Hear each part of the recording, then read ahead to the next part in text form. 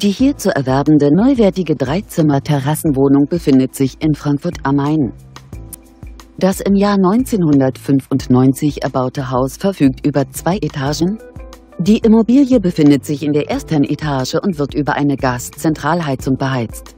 Das Objekt verfügt über zwei Schlafzimmer, ein Badezimmer, eine Gästetoilette, eine Einbauküche, einen Keller und einen Tiefgaragenparkplatz.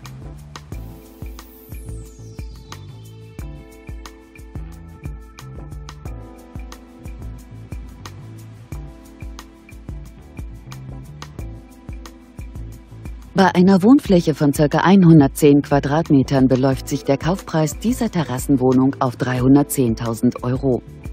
Gern beantworten wir Ihre Fragen. Kontaktieren Sie uns.